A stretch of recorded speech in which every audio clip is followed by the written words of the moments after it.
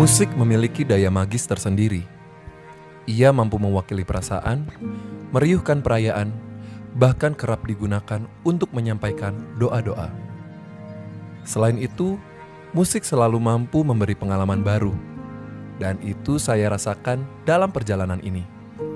Sebuah pesan yang kuat untuk tidak melupakan leluhur lewat alunan lembut denting suaranya. Di Padang Savana Sumba, untuk pertama kalinya saya mendengar denting jungga. Sebuah alat musik tradisional yang mulai terlupakan. Namun sebaliknya, pertemuan saya dengan para maestro jungga akan menjadi pengalaman yang tak terlupakan.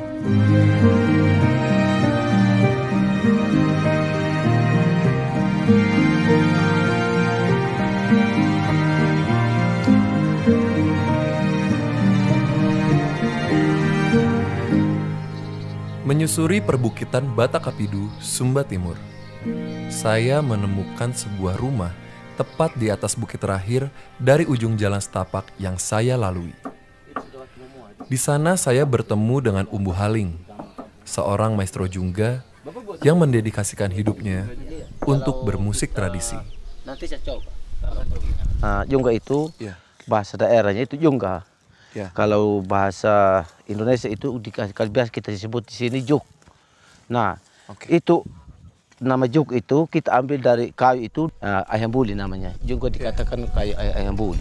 Karena mungkin ada tradisi dari nenek moyang, karena kayu itu yang dipilih beberapa kayu di hutan itu hanya kayu itu yang bisa bunyi, yang bisa bunyi bagus.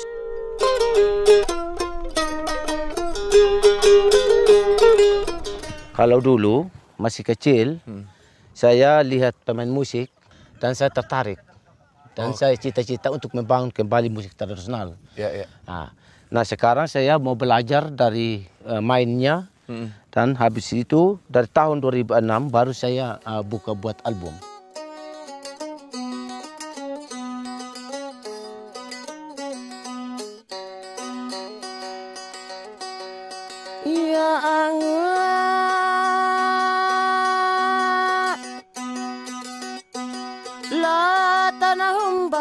Humbang ya padedi nai boku la mangilu nya patumbu nai apu la maunga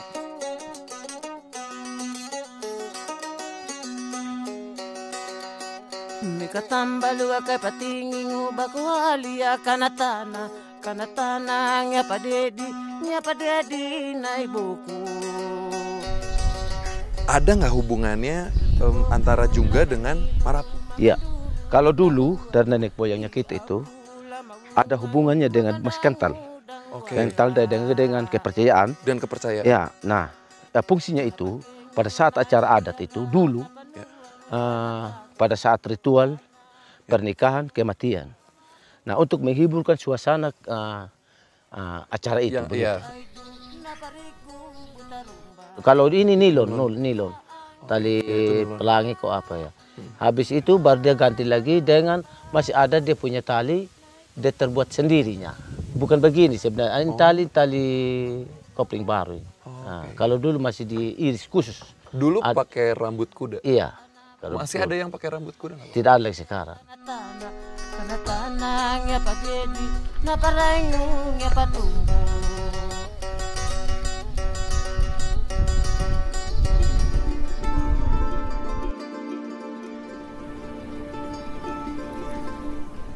Di tengah pertumbuhan musik modern, ada seseorang yang memperjuangkan jungga agar lebih dikenal, dicintai, bahkan dimainkan oleh anak muda. Ia adalah Elson Umburiada, pendiri komunitas OSA atau orang Sumba asli yang mengembangkan musik jungga berbasis komunitas. Hasil tidak mengkhianati perjuangannya.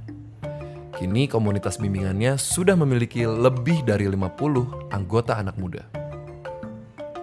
awalnya memang untuk membantu visi pribadi saya. Visi pribadi saya waktu pulang ke sini itu membangun Sumba lewat musik. Jadi kayaknya tidak mungkin kalau saya sendiri gitu. Saya coba itu pada akhirnya uh, membuat komunitas kecil ini. Di Nusantara Awalnya bertumbuh karena modern memang. Awalnya bertemu dengan modern, pada akhirnya uh, harus mencintai Sumba dengan musiknya karena saya dipilih untuk itu. Jadi salah satu cara untuk um, melestarikan, menjaga dan um, mempercepat pengembangannya kolaborasi kedua ini kayaknya penting bagi saya. Gugusan pulau menari-nari Laksana penari Sumba di Nusantara. Uh, na na na na na. Nikmati alam semesta. Nikmati bumi pertiwi Nusantara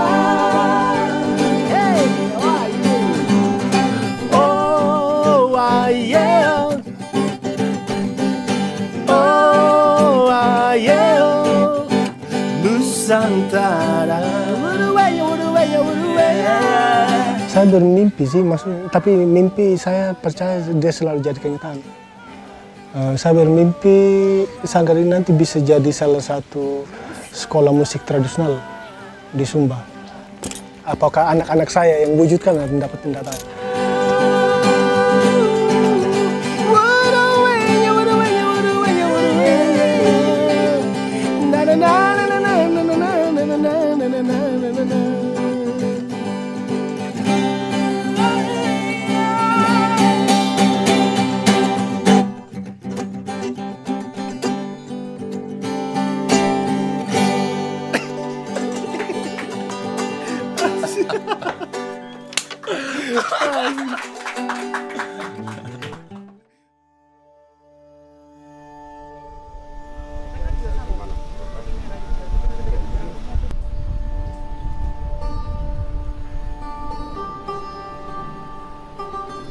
Bagi saya pribadi, kedua maestro yang telah saya temui membuat saya diselimuti kagum.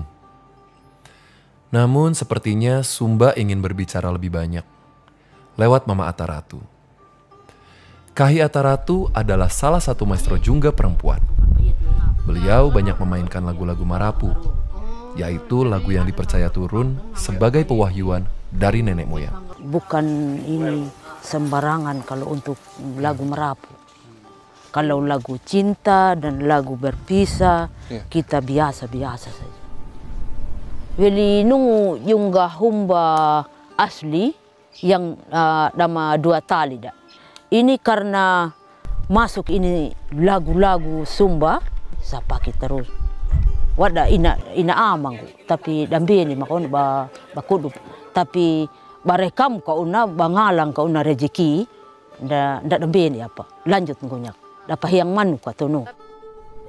Kambuhang ko pa bakung aku rorong yang anu kambuhang ko pa pa lu dua banyak ka una.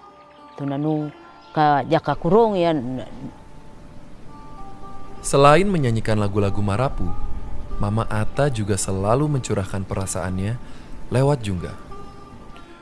Baik itu kebahagiaan, cinta, dan kesedihan.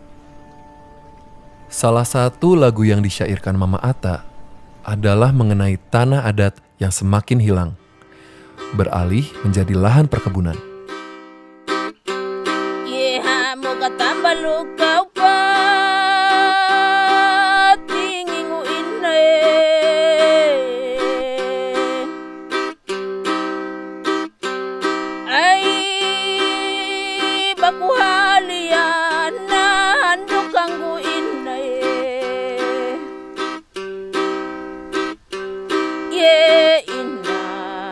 bataliurula kuwarunga maina e bamahali ura dia di maina.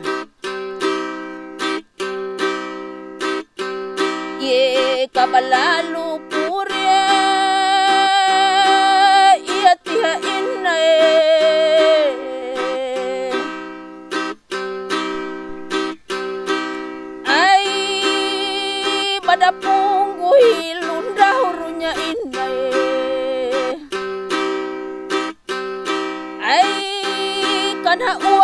na makuha kulo ina haka na mauna pangiyama ina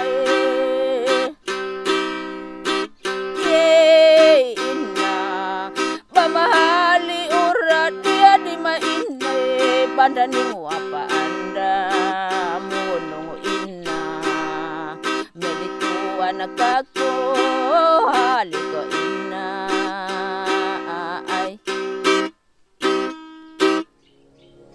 Aisyah hampir menangis.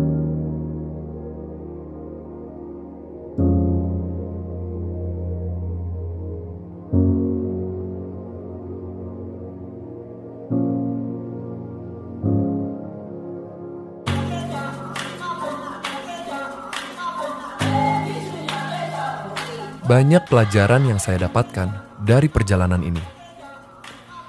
Terlebih mengenai harapan, perjuangan, kebahagiaan, dan kesederhanaan. Semoga mimpi dan cita-cita para maestro mampu terwujud melalui lagu dan syair yang dilantunkan.